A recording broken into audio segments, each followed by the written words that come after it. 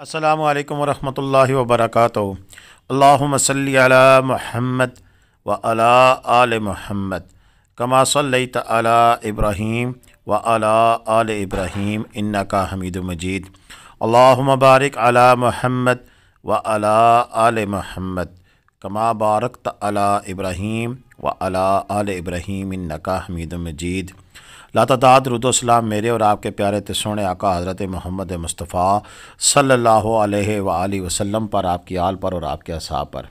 जी अज़ीज़, दोस्तान ग्रामी इस वक्त जो आप मनाजर देख रहे हैं, ये पाकिस्तान के खूबसूरत तरीन सयाती मुकाम गलियात के हैं और गलियात से मुराद वो गलियाँ हैं जो कि खैबर की के एबटाबाद के जो ज़िला है, उसके इलाके नथिया गली, कूज़ा गली, खैरा गली और बहुत ही खूबसूरत मकाम छांगला गली, ये वहाँ के मनाजर हैं मुख्तलिफ़।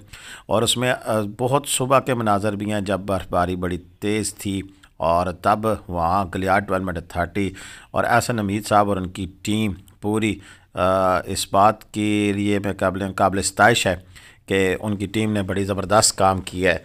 और इस दफ़ा जदीद तरीन तरीक़ाकार अपनाते हुए नमक का छिड़काव भी जारी है, सड़कों को साफ़ करने का काम भी जारी है।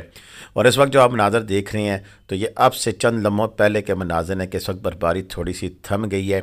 और बर्फबारी का ये सिलसिला कल से चला जा रहा है और वक्फे वक्फे से बर्फबारी हो रही है। ये जो मनाजर आप देख रहे हैं, ये मनाजर हैं चर्च के पास के और वहाँ पर नथिया गली ऊपर पार्क के। और ये काफ़ी सारे दोस्तों ने मुझसे पूछा, ये जगह कहाँ पे है? ये देखें कि हमारे लोग जाते हैं नथिया गली बाज़ार का विज़िट करते हैं और बस आ जाते हैं? हालाँकि नथिया गली बाज़ार से पहले राइट साइड पे ऊपर एक रोड जाती है या नथिया गली बाज़ार के एंड पे, वहाँ पर राइट साइड पे फिर रोड ऊपर जाती है। ये किसी को पता ही नहीं ऊपर गवर्नर साइड पे जब जाना हो तो वहाँ पर ये खूबसूरत तरीन मकाम है और बड़ा दिलफ्रेब नज़ारे होते हैं यहाँ पे बर्फ़ पड़ने के बाद। और यहाँ तक पहुँचाने के लिए बहुत शुक्रिया। यानी कि ये वीडियो जिन्होंने भेजी, जिनका ये होटल है ईगल नेस्ट, और ये नथिया गली में मौजूद है।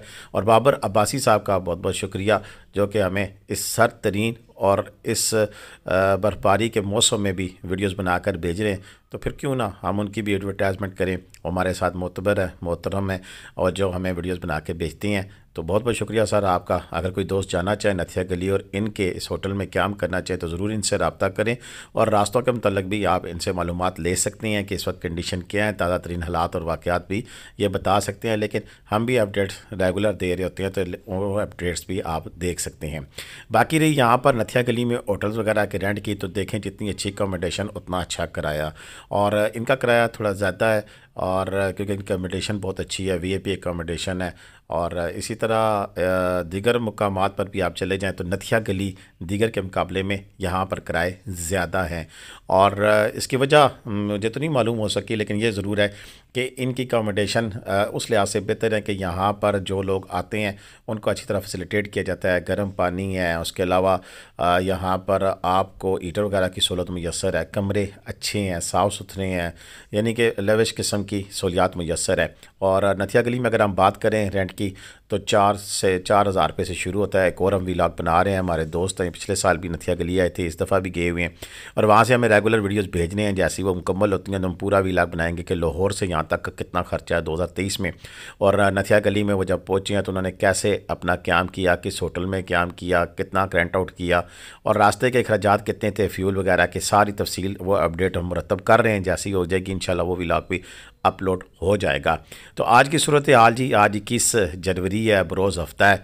और इक्कीस जनवरी की सुबह सुबह के जो मनाजर हम आपको दिखा रहे हैं कि सड़कें अभी तक खुली हुई हैं, रास्ते खुले रखने में पूरी तरह गलियार डेवलपमेंट अथॉरिटी कामयाब है। वंस अगेन मैं शाबाश दूँगा गलियार डेवलपमेंट अथॉरिटी को कि उन्होंने बड़ा ज़बरदस्त काम किया हुआ इस दफ़ा।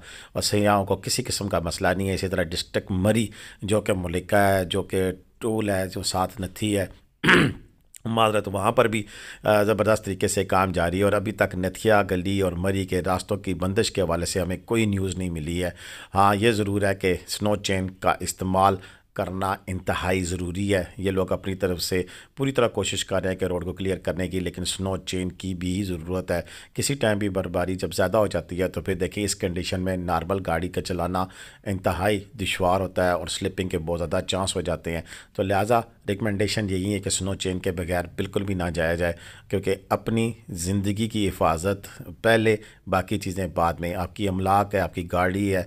आजकल के दौर में जिसने गाड़ी रखी हुई है उसकी हिम्मत है कि वो इतनी महँगी गाड़ी रख रहा है क्योंकि गाड़ियों की कीमतें आसमान पर जा पहुँची हैं।